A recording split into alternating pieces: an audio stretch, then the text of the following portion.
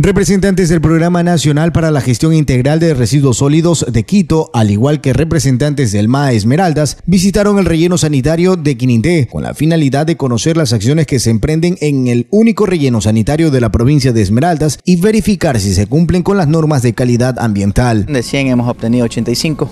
todavía ese 15% nos hace falta por la colocación de un textil que tenemos que poner en la parte del frente y bueno, están bastante satisfechos. Lo que pudieron manifestar también, tal vez usando un poquito las palabras que ellos dijeron a nivel de la provincia, somos el único relleno que está cumpliendo casi con todos los parámetros que establece eh, el ministerio. Las mejoras se continuarán fomentando dentro de las instalaciones de relleno, pues los residuos cada vez se generan en mayor cantidad en el cantón Quinindé. Estamos dándole hasta lo último el manejo que se pueda a la celda que existe para evitar asimismo pues que ya no tengamos área donde depositar los desechos. you